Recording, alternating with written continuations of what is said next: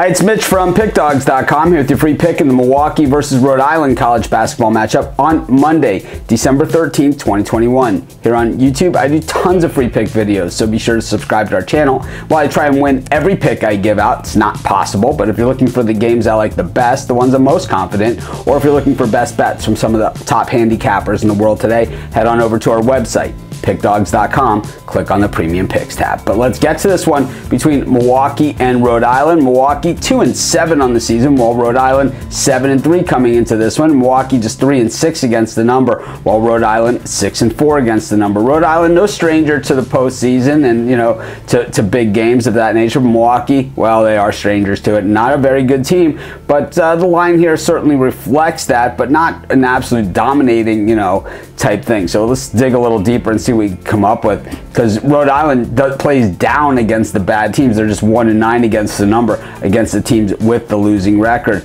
Rhode Island has won three of their last four games, beating Harvard. Uh, Georgia State and Sacred Heart, and beating them all fairly handily, but only covering in two of those games. They have, you know, a, win, a loss to Florida Gulf Coast by a point, so it's like they could certainly be had. A win over, two wins over Boston College so far this season. So, you know, it's it's just a, a, matter of which Rhode Island team is going to show up here.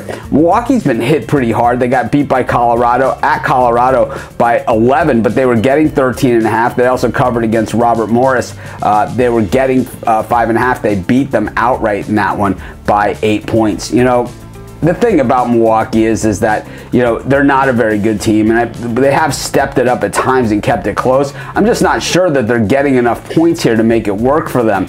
You know, that they are just one and three straight up at home this season. Meanwhile, uh, Rhode Island, not a great road team, and you know, as we said in, in that earlier trend, against the bad teams they never really get up. But but milwaukee just one in five against the number following a loss. I'm going to take rhode island here. It's a lean and that's going to be my free pick. Of course uh, if you like our youtube you'll love our premium youtube. Just click on the link in the description and uh, we've got tons of different offerings for you to check out. I'm sure you'll love them and of course uh, if you're betting today, be sure to grab today's sports betting bonus offer. We have a different offer in the description of our videos every single day. So great chance to shop lines and get multiple books.